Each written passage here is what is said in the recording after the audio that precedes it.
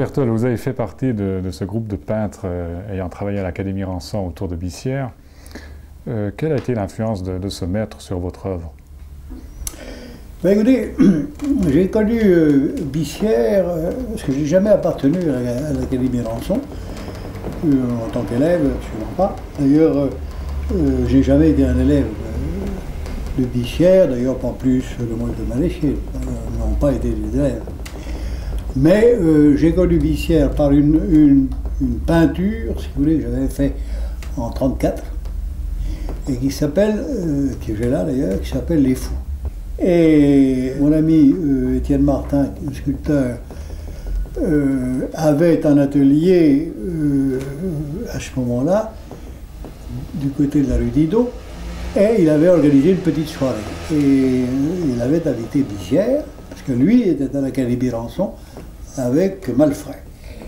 Et il avait invité Bissière, et moi, et plusieurs, amis, plusieurs amis. Et Bissière arrive avant moi et voit pendu au mur cette euh, peinture-là. Alors il demande à Étienne Martin qui c'est qui avait ça. Alors Martin lui dit bah, J'ai Bertol, vous le verrez tout à l'heure. Et notre amitié est partie de là. Il a été très emballé de cette chose-là, et je vous dis, euh, cette amitié indéfectible qui été jusqu'à sa mort. Alors, être influencé de Bissière, non, pas directement. Mais par tout ce qu'il a dit, toutes les conversations que nous avons eues, euh, toute la profondeur de ses réactions, ce qu'on appelle picturales, ont été, euh, disons, très. Euh, enfin, m'ont marqué beaucoup, pas, si vous voulez. À telle enseigne, c'est que dans mon enseignement à l'heure actuelle, bien des fois, je, cite des paroles de Bissière, n'est-ce pas? Parce que. Et ce sont des paroles, ce sont choses qui sont à la fois. en même temps techniques, n'est-ce pas, techniques de base, et en, même temps des choses, euh, si vous voulez, relativement générales. Entre autres, ce que je vous ai cité tout à l'heure, euh, l'histoire de euh, pas de belle couleur, il y a des rapports, ça c'est du bichier, et on peut constater, bah, c'est la vérité. Maintenant on s'en fout. Mais là, il s'en foutaient pas, lui, ni, moi non plus. Et ni certains de mes, amis, enfin, de ceux que je connais. Et alors, je crois que l'influence a été plutôt dans ce sens-là que dans ma propre, peinture.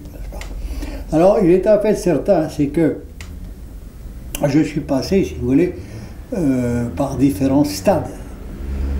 Et j'ai eu ce stade où il m'a connu, avec euh, un peu euh, quelques élus, quelques élucubrations et lucubrations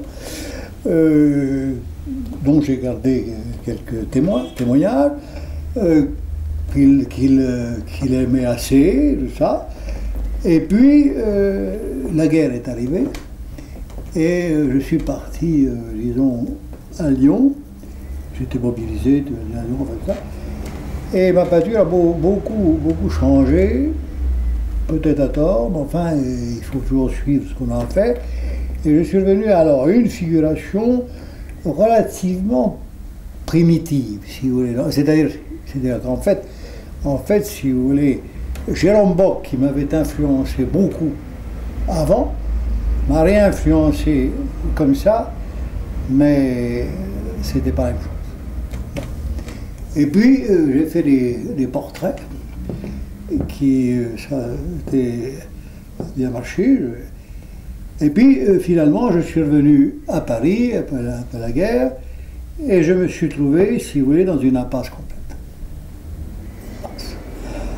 Et là, je me suis arrêté au moins euh, deux ans de part.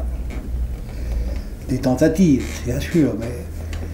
Et je, ne savais plus comment, si vous voulez, euh, raccorder les choses de ce qui était avant et ce qui devait venir après. Bon. Alors j'ai eu, j'ai été, comment je peux dire, balbutiant pendant quelque temps. Et euh, j'avais fait des peintures auxquelles j'étais, euh, pas tellement content. Et Bissière, Bissière arrive et je lui dis, parce qu'il venait quand même me voir après la guerre assez régulièrement. Et je lui dis, vous voyez, je sais pas, ça marche pas bien. Alors elle me dit, voilà ce qu'il y a, Bertol, c'est que vous mélangez tout avec du noir et vous ne comprenez pas, vous n'avez pas compris que le noir est une couleur et une valeur. Il y en a qui mélangent tout avec du blanc, c'est pareil. Eh bien, je vous assure que ces paroles-là m'ont fait avancer euh, dix ans de, ma vie picturale. Alors là, dans ce sens-là, c'est quand même une très grande reconnaissance que j'ai envers lui, et cette influence, elle est là-dedans. Alors, tout d'un coup, est arrivé autre chose, et puis c'est là qu'a débuté, alors, si vous voulez, la non-figuration, dans laquelle euh, je me suis euh, propulsé, si vous voulez, avec autant de, de ténacité que je me propulse chaque fois dans quelque chose. Et c'est là qu'est né ces tableaux euh, des, années, des années 50, où là j'étais justement chez, chez Bûcher. Alors on n'est rien, rien du tout, euh, jamais rien vendu.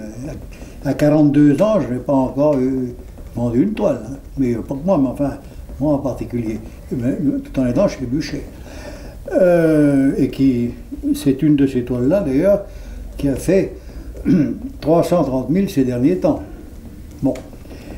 Alors, euh, ceci dit, euh, ça a été un, redémarrage et euh, j'ai continué pendant combien Peut-être 16 ans.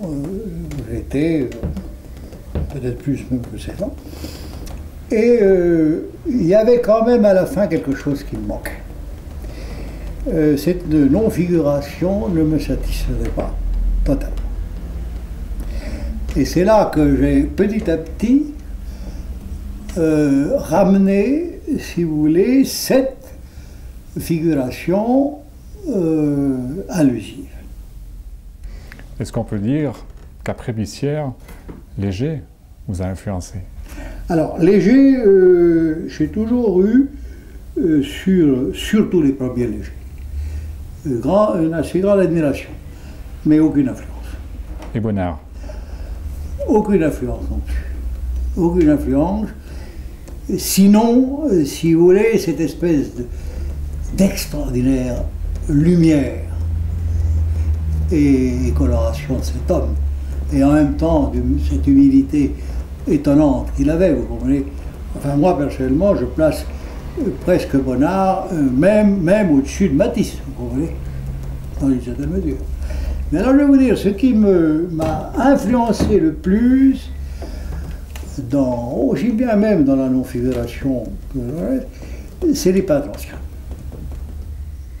Vous avez un goût marqué pour, euh, pour tout ce qui est chevaleresque. Le cheval apparaît très souvent dans votre œuvre. Oui, euh, c'est la vérité, parce que le cheval, si vous voulez, euh, a été, d'abord, est un grand symbole, un symbole solaire. C'est un, c'est un, comment je peux dire, c'est une chose qui a apparu dans toute l'iconographie depuis la nuit des temps. Parce qu'il a joué ce rôle de sabot, il a joué son rôle prosaïque de communication, et aussi tout le côté épique. Alors évidemment, n'est-ce pas, je, j'ai essayé, je n'ai pas essayé, je n'essaye pas, euh, j'ai, euh, si vous voulez, été porté vers cette apparition de, la, de cette figuration allusive, mais comme dit, comme dit Léger, sans briser l'harmonie conditionnelle. Vous comprenez? Parce qu'en fait, euh, si vous voulez, euh, ma, ma, euh, ma figuration est prise dans le réseau rythmique de la toile comme elle était dans les choses non figuratives. Vous avez, Bertol, un goût aussi pour, pour le monumental. On a parlé de vos vitraux. Vous avez été appelé à collaborer avec Delaunay, avec Survage, pour l'exposition universelle de 37. Non. Est-ce juste ou faux? C'est faux. Je vais vous dire pourquoi c'est faux. euh, euh, Delaunay a eu une, commande des, chemins de fer et de l'air. Bon. Et il a eu comme collaborateur dans les premiers temps un architecte peintre qui s'appelait Aublé. Et Aublé s'est brouillé avec Delaunay et a formé son équipe avec Manessier, Lemoyle, moi et Vissière. Et nous n'avons jamais rien à voir avec Delaunay. Et nous avions, nous, le pavillon des chemins de fer, et lui avait le pavillon d'air. C'était, je crois, en 37, 38 37. L'exposition 37. Vous avez aussi fait le, déplacement de New York quelques années plus tard. Alors, euh, oui, alors là, c'était une commande euh, qu'un de mes amis qui est mort maintenant, qui s'appelle Zenman, euh, avait la, commande du bar du pavillon français à l'exposition de New York. Et il nous avait appelé, moi et le moelle, pour collaborer avec lui. cette commande était une commande énorme puisqu'elle avait 1500 mètres carrés. Et alors nous avons collaboré donc à ça, nous avons mis tout au point, et euh, nous avons exécuté à Paris cette chose-là. Et alors il, fallait, euh, si vous voulez, euh, quand ces, laits de toile ont été portés à New York, et qu'une équipe de maroufleurs français les ont marouflés au plafond, il a fallu qu'on y aille pour la raison, la raison de certaines retouches qui pouvaient être à faire. Est-ce que ce voyage a été l'occasion de, montrer la peinture française à New York ou est-ce qu'il a été peut-être aussi euh, l'opportunité pour découvrir le début de l'école de New York? Nous avons euh, séjourné un mois, à New York. Alors on a commencé euh, à nous coller un, artiste américain qui aurait été payé en dollars, nous étions payés en francs. Et pour justement nous aider à faire les retouches. Alors on s'est dit avec Zalman et le moelle peut toujours courir. Dans la nuit, on a fait les petites retouches, mais pas beaucoup. Et quand l'Américain s'est amené, il n'y avait plus rien à faire. Deuxième chose, nous avons connu là-bas, moi je, l'ai connu, mais Zellman la connaissait avant, une Américaine absolument charmante, qui avait été l'élève de Lot, et qui, était, euh, qui s'appelait Madame Lebrun d'ailleurs, un nom très américain, et si on peut dire. Et alors, elle nous a reçus là, magnifiquement, enfin, c'était une femme absolument adorable. Et Zellman fait la connaissance, enfin, par intermédiaire, d'un marchand de tableaux également, également juif. Et euh, Zellman lui dit Est-ce qu'on peut exposer? Ah, ben écoutez, je vous prête la salle, la salle. Mais pas, de pas de rien du tout. Hein. Vous parlez ça, puis c'est fini. Hein. Alors évidemment, nous avons parlé ça huit jours, c'est resté huit jours, sans un chat. Alors voilà, si vous voulez, les, les, extraordinaires contacts que nous avons eu avec les Américains, au point de vue artistique. Mais tout ce que nous voyons actuellement, qui vient de, de là-bas, il n'y avait rien de tout ça. N'existait pas venu après la guerre. Alors, est-ce que ce refus euh, des Américains de, voir, de même regarder la peinture française, est-ce que ce refus est prémonitoire pour ce qui va se passer ensuite? Je ne, pense pas qu'il faille euh, généraliser. Euh, ce qu'il y a tout de même à dire, n'est-ce pas, c'est que nous étions quand même des, jeunes peintres, vous comprenez, absolument d'inconnus. ça n'emballait pas marchand de tableaux, vous comprenez Et euh, ils étaient aussi certains peintres, je ne sais pas si c'était connus ou pas connus, mais entre autres celui dont vous parlais, euh, nous étions un petit peu, euh, si vous voulez, l'ingérence dans, le pays, vous comprenez L'ingérence. D'ailleurs, je vous dirais que ce n'est pas tout à fait d'aujourd'hui, parce que vous avez Durand Ruel avec l'exposition impressionniste, qui a eu un très grand succès là-bas, il a, après, les, Américains sont biffés. Et il a eu des grosses difficultés parce qu'à ce moment-là, il y a la douane ou le, fisc qui, qui, allait carrément, vous comprenez. Parce que il y avait une jalousie de l'introduction de peintres français ou étrangers là-bas. étant donné que l'art français avait pénétré en force à un moment donné avec les Renoirs, les Mollets, les Manet, les Train, là-bas, et ils se sont dit après tout, comme nous avons gagné la guerre, il n'y a pas de raison que nous soyons euh, des enfants de cœur. Alors, ce que nous avions remarqué, si vous voulez, c'est que cette civilisation, euh, déjà extrêmement technologique, extrêmement presse-bouton, euh, avec un esprit un peu cow-boy, avec un certain, un certain humour à eux, il n'est pas étonnant qu'il se soit créé cette, euh, ce que nous connaissons, soit du pop art, comme ça, comme une certaine révolte euh, ou de, inhérente à la, à la civilisation que nous avons, que nous avons vue.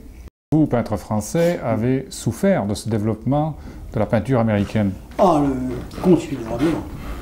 Considérablement. Parce que, parce que là, nous avons d'abord les critiques d'art français ont marché comme un seul homme pour raconter que tout se passait à New York, vous comprenez, ou, ou, euh, je parle Los Angeles, ce qui n'est pas vrai. Ce qui n'est pas vrai. Et il y a alors une espèce d'envahissement, et encore maintenant, de la peinture américaine ici. D'ailleurs, il n'y a pas longtemps, vous aviez une rétrospective de cette espèce de cuisse qui s'appelle Andy Barol. Vous comprenez? C'est épouvantable. Et ça, c'est au centre Pompidou. Hein. Alors, ce ce que, ce qu'il faut dire, c'est que c'est leur affaire. Mais, quand les peintres français, les soi-disant peintres français, veulent imiter les Américains, par influence, par influence aussi quelquefois euh, disons, à base de fric, se, se complètement, parce que je vous ai dit tout à l'heure, il faut voir ce qu'elle était l'Amérique, et en même temps, euh, si vous voulez, l'esprit américain et son humour. Le français n'a pas cet humour-là, n'a pas ces problèmes-là. Et en plus, je passe pas un cowboy. Vous comprenez?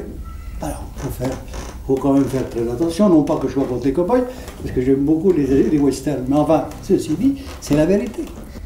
Vous avez été, Jean Bertol, euh, professeur à l'école des beaux-arts.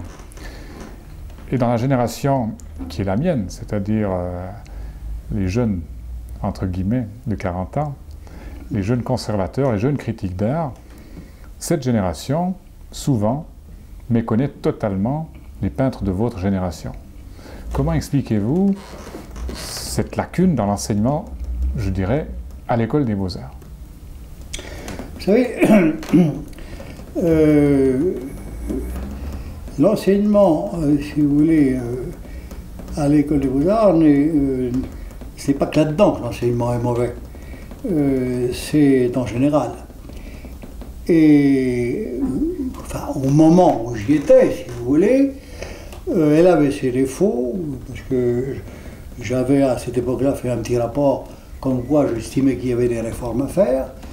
Mais enfin, il y avait quand même là quelques professeurs euh, où euh, on instruisait quand même les gens sur, la peinture, vous comprenez, sur les, choses importantes des, arts plastiques.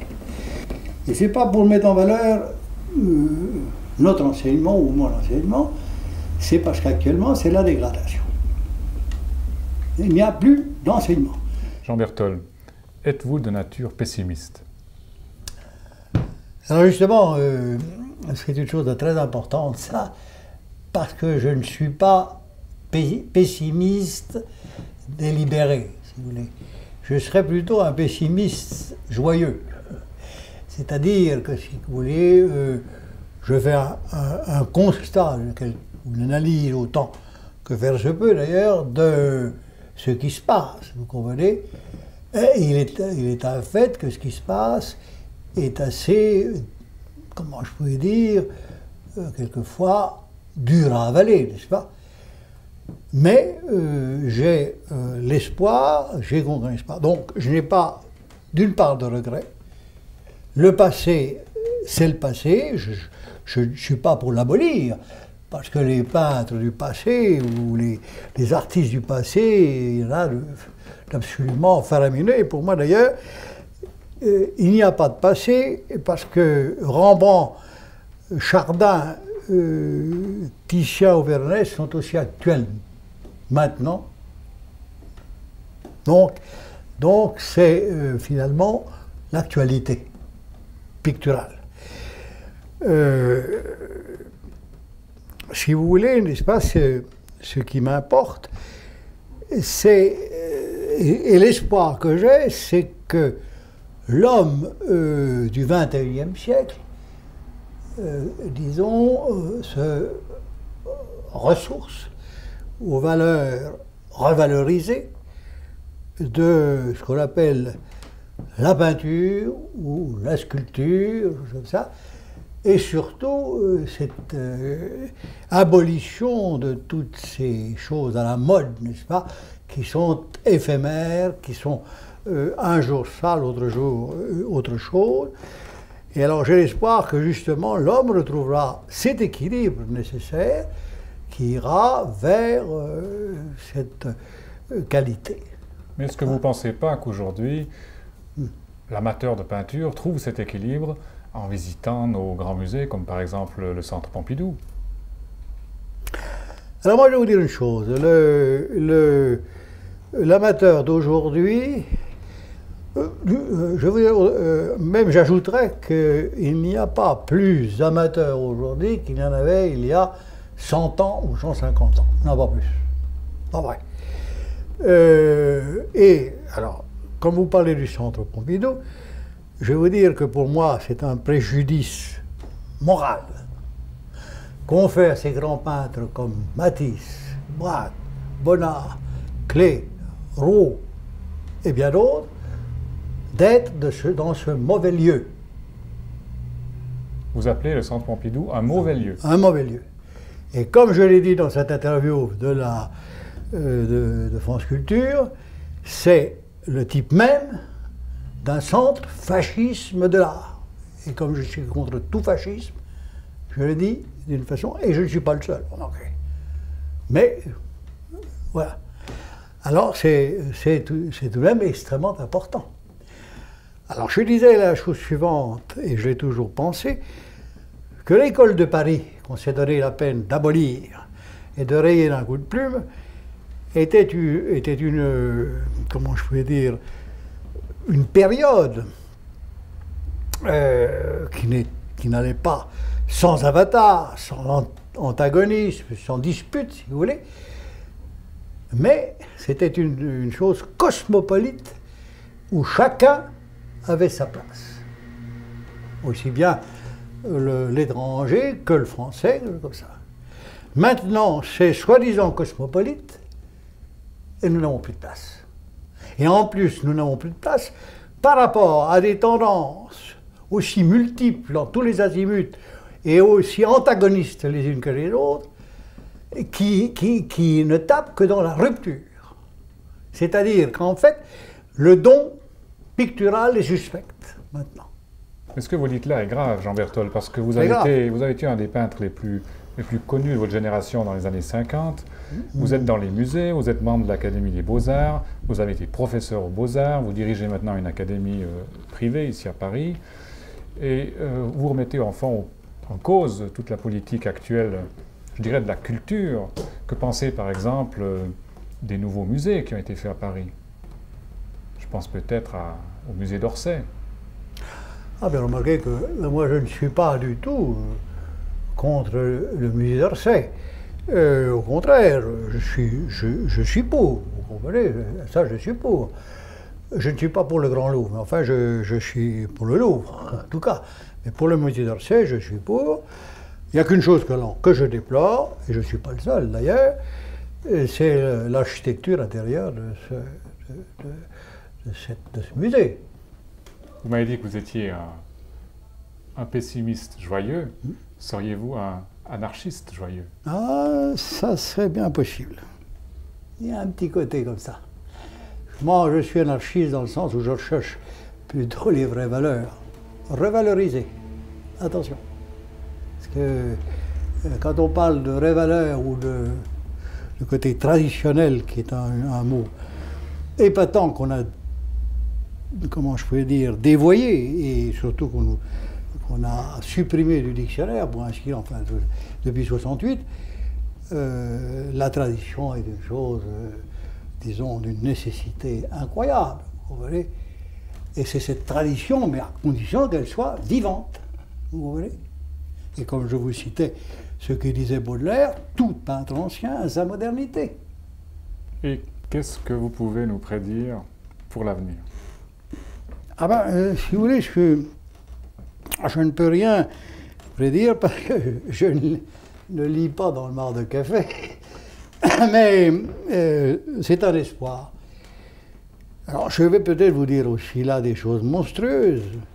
Nous sommes arrivés, euh, d'ailleurs c'est extraordinaire, à un point de technologie absolument extravagante, sophistiquée au possible, et on ne voit pas du tout comment tout ça peut s'arrêter.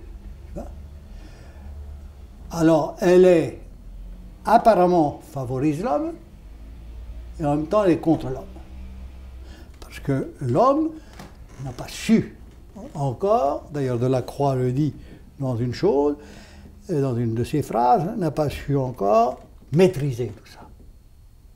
Bon, alors ce que l'espoir que j'ai, c'est qu'au XXIe siècle, où la technologie ne va pas immédiatement disparaître, mais chez, l'homme, il y aura un besoin impérieux de revenir justement à des vraies valeurs, comme des oasis de poésie, vous comprenez, et de la vraie peinture, de la vraie littérature, de la vraie sculpture, et non pas ces abominations qui sont d'ailleurs les sous-produits de toute la technologie actuelle. Vous comprenez? Et c'est ça qui est important. Alors voilà l'espoir que j'ai. C'est un peu l'espoir de Malraux.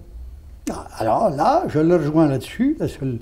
C'est le 21e siècle, ça spirituel, ou ne le sera pas.